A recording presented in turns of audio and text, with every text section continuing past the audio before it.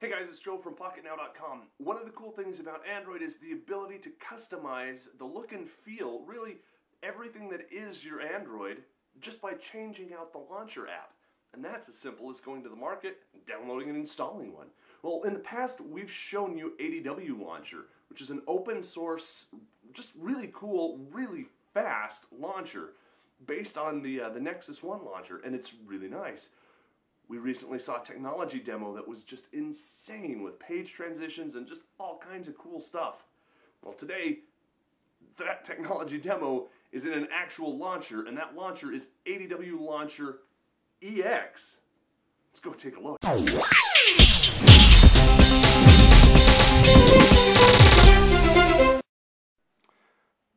So I've shown you an awful lot of launchers in the past, and this is yet another one. Now, this is similar to one that I've shown you in the past, and it's one that is similar to what comes stock with CyanogenMod. So if you guys are running CyanogenMod out there, you're probably familiar with ADW Launcher, which is an open source launcher, and that's one of the reasons why it's included with CyanogenMod. My other favorite is called Launcher Pro, and they both have benefits. They both have advantages and disadvantages. Well, one of the biggest disadvantages with ADW Launcher has been its settings. And really, that's because there are just so many of them. Well, you'll notice here a little simplified version of, uh, of that. No longer do we have a launcher settings and a phone settings. Now it's all incorporated into one universal settings. To get to phone settings, you tap on that and then come into phone settings. So one step away to get to your phone settings, but for everything else, here are all of your nice and iconically representative menus that you can go into and change uh, for the launcher itself. Now, this launcher is called ADW Launcher EX. And a while back, we showed you a really, really cool uh, technology demo that showed some cool page transitions. Well, a lot of those are now included in this presets. Presets lets you come in here and change it to something default, the way that it comes stock from Android and iPhone-ish, Nexus-ish, and fast. If you've got a slower phone, you want to choose fast because, well, this is a fast launcher. Well, if you've got a fast phone like I do, this is the T-Mobile G2, you don't need that, and you can take advantage of some of the, uh, the more whiz-bang stuff. So let's go back and talk about a couple things really quickly. Okay, you ready for this? First and foremost, you have this nice thumbnail preview. Just by touching the home button from any one of the screens, it will show you all of the screens. In this case, it comes stock with five, and I've been able to uh, up it to seven. I've got a couple of blank screens in here, and I have those there primarily just for padding.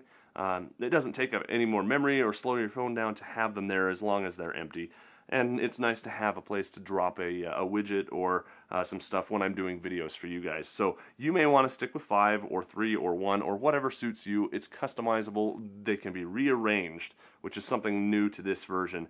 And that's a really big feature, being able to move, say, this screen down here, that screen over there, change which one is your default screen by pinning it there. Very, very nice. I mean, that right there is worth the upgrade. But you can go right to the screen by tapping. Now, the second thing that you're going to notice is this looks an awful lot like the Nexus S, which is running Gingerbread, what with all of the little green hinted icons. And in fact, we can uh, you know, come over and look at other stuff, and, and I'm kind of showing off the, uh, the next feature that I'll get to, which is the page transitions. But before we go too far, this theme with these icons, which goes a little bit further, you know, it, goes into uh, your dialog boxes, it goes into your app drawer, uh, and all kinds of stuff. But it's a theme. This does not come stock with a launcher. In fact, this theme costs 99 cents. It's available in the market, and uh, I forget the name of it. It's a, an ADW uh, Nexus S theme, I believe. Um, and, and all it does is it lets you select a theme that then applies these various rules, and it makes this, which is still Froyo, look like, in this case, gingerbread, which is kind of nice. Uh, I don't have to install a half-baked version of Gingerbread on my phone to make it look like it. I can get the best of both worlds by doing it this way.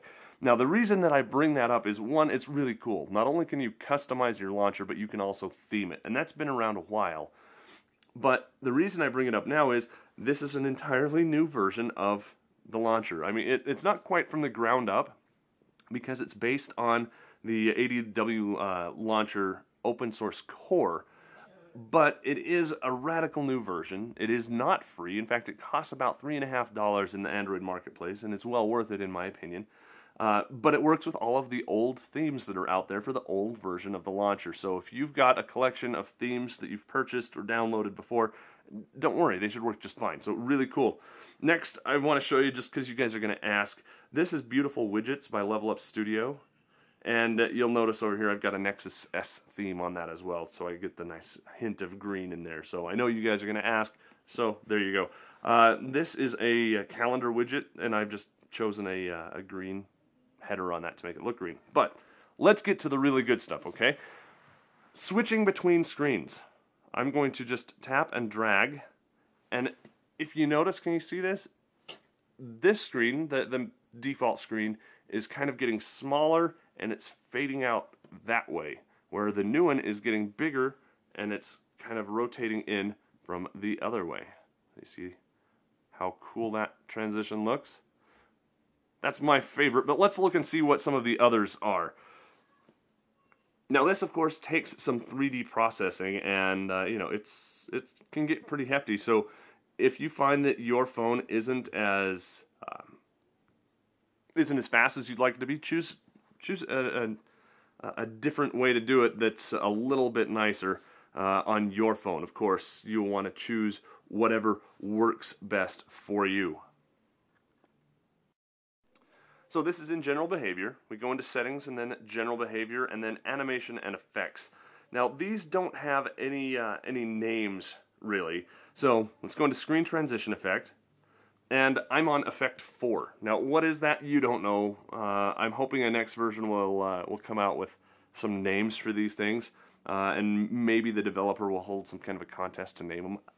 Who knows? Um, of course, submit your recommendations uh, to the developer, and uh, and perhaps you'll get some uh, some kudos in the credit or a free copy of the software. Who knows? Anyway, so normal scroll is normal scroll. It's the the default behavior. It's probably one of the fastest ways if you have a slower phone. Effect one is kind of cool, so let's do that. We'll tap there. We'll go home, and now to switch between them. Okay, to swap between them, you just tap and slide, and you can see this has kind of a, a rotating effect. We'll just go through a couple of those pages so you can see it, and it's really quick. I've got widgets, I've got icons, I've got all kinds of stuff on there, and it just kind of folds in like you're looking at uh, sides of a cube from the inside. But let's not delay. Let's go ahead and check out another one. So back to general behavior. And again, doing this on a flat table, sometimes the taps don't work, but that's uh, that's because of the orientation that I have it, not because of the phone or the theme uh, or the launcher itself. So back to transition effect, let's go to effect 2, and we'll just kind of buzz through these really quick so you can see them. This one kind of explodes and fades out, and the other one zooms and fades in. A little bit slower on this transition, but that's more for effect than anything else. So let's go back into our general behavior, animation and effects, transition, effect 3, and there are a whole bunch of them. And I'm not going to go through all of them, but just to give you an idea, this is kind of one of the more intense ones. You grab on and it rotates that out of the way and it rotates the new one in. You can kind of see the side of it over there. So really cool. Now, I'm going to set this back to 4 just so you can see where I was before which again is general behavior, animation and effects, and transitions, and back to number four. For the others, you're going to have to go out and grab a copy of this from the marketplace. You can see how this is really quick and kind of has a, a nice bouncy effect when I land on it.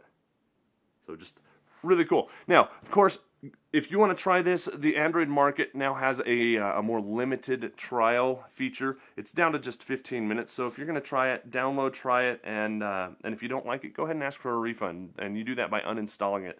Uh, it's really not that bad, but we're down to 15 minutes instead of a full day to be able to do it.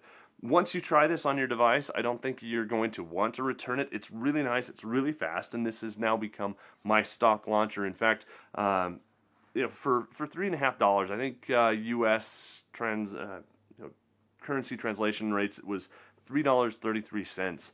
Uh, of course, that may vary depending on what the uh, the currency exchange rates are and whatnot. The theme is ninety nine cents, and it's really worth it. I mean, for for less than five bucks, you've got a customized phone that you can do all kinds of stuff that your friends' phones can't do or can't do until they get the app. Really cool. I like it a lot. I would recommend you go out and get it, but I'm interested in your thoughts. What do you think? Have you tried ADW Launcher? Have you tried ADW Launcher EX, which is what this one is? Do you like it better or worse than Launcher Pro? Is there another launcher that you like better than these? Or are you the kind of person that just likes the stock launcher and doesn't want to make any changes and if so, why? What advantages does that give you? We want to know. Leave that in the comments down below. If you haven't subscribed to our video channel yet, make sure you do that. In fact, we've got a whole bunch of videos that focus just on the T-Mobile G2 or use them as our spokesmodel, as the case may be. So make sure you subscribe and catch up on all the stuff that you may have missed. So showing off ADW Launcher EX for Pocket Now, I'm Joe Levi.